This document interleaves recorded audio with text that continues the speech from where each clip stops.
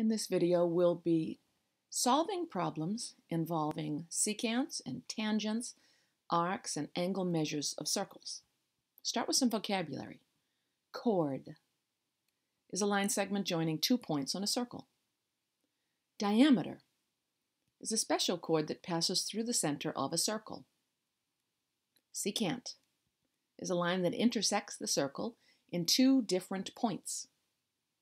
Tangent is a line that intersects the circle in exactly one point. And that point is known as the point of tangency. Example 1.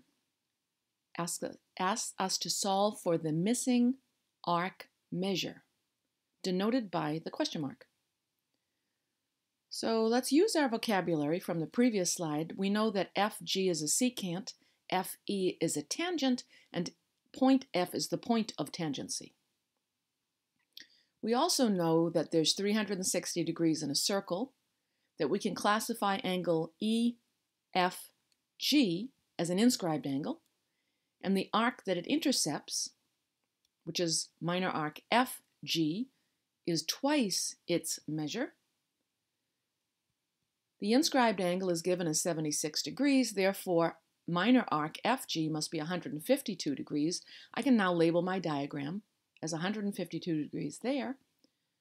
So the missing arc measure is 360 minus 152, or 208 degrees. Next example, we're going to solve for a missing angle measure. Remembering the 360 degrees in a circle, that QRS is an inscribed angle, that minor arc QR is the arc it intercepts, which is twice the measure of the inscribed angle. Therefore, if arc QR is 146 degrees, the measure of angle QRS would be half that, or 73 degrees. Now here's one for you to try. How could we find the measure of angle KLM? Well, we know the measure of the arc that it intercepts is 130, 130 degrees. Therefore, the inscribed angle, which is the unknown, is 65 degrees, which is half the measure of the intercepted arc. Now we're going to change it up a little bit and solve a different style problem. In this diagram, we can see that KL and KJ are tangents and these tangents intersect at point K, which is outside of the circle. What we want is the measure of angle LKJ. We know there's 360 degrees in a circle, and we're given that minor arc, JL, measures 110 degrees, and we're going to use the relationship that the measure of angle K is half the difference of major arc JL and minor arc JL. So we'll start with what was given. The minor arc measure is 110 degrees, therefore the major arc must be 350 minus 110, or 250 degrees. Now the measure of angle K is half the difference of the larger arc minus the smaller arc. And we'll just apply order of operations and we get the measure of angle K is 70 degrees. We'll solve a similar problem. We're asked to find the measure of angle L,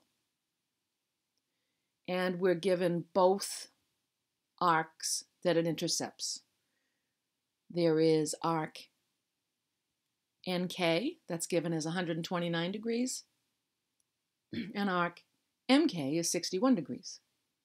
So how would we find the measure of angle L? It's half the difference of 129 minus 61. So that's half of 68 or 34 degrees. So that's the process for finding the angle measure of these style problems, but what if we're given algebraic expressions? Okay, so we want to remember here that UT and UV are tangents. They intersect at point U.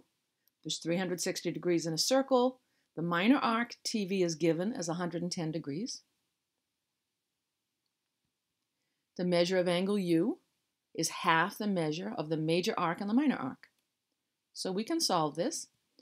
We know that minor arc TV is 110 degrees, therefore major arc TV must be 250 degrees. The measure of angle U then is half the difference. I know that the measure of angle U must be 70 degrees.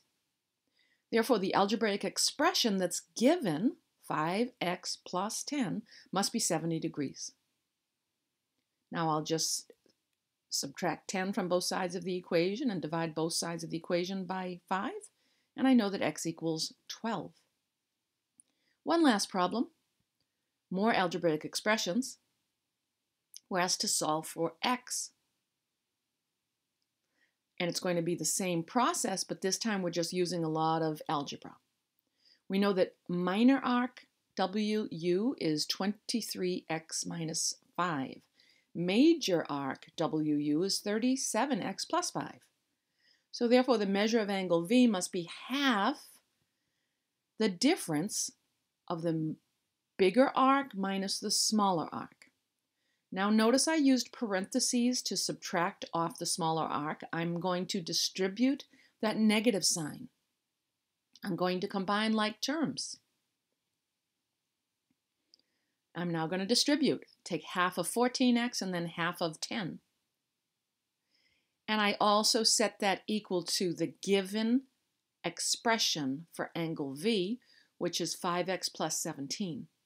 Now it's a matter of solving for x. I'm going to subtract 5x from both sides of the equation and subtract 5 from both sides of the equation. I get that x equals 6.